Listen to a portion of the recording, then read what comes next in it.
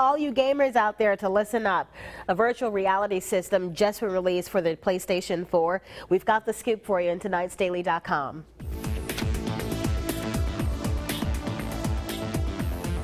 Virtual reality just got a little more real. Sony, the makers of the hot selling PlayStation 4, rolling out its latest project, Morpheus.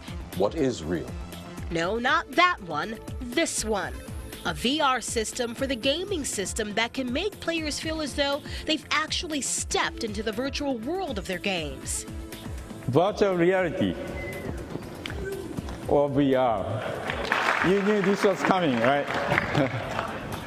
it's the next innovation from PlayStation that may well shape the future of games. Morpheus was just introduced yesterday at the Game Developers Conference in San Francisco.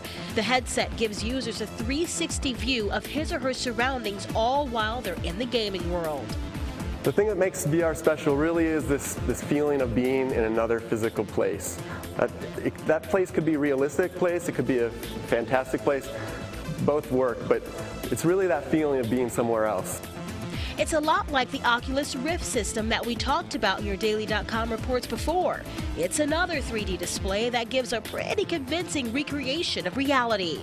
Morpheus is a visor style and it interacts with the camera on the PlayStation 4. It's got gyroscope sensors to track players' every move.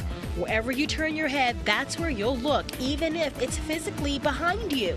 It's even got 1080p and 3D audio technology that recreates stereoscopic sounds in all directions and changes in real time. Excited yet? Oh, don't get too excited. No word on pricing or a specific timetable on when the technology will be released. The models coming out now were just prototypes for the developers, and that's what they were using at that conference.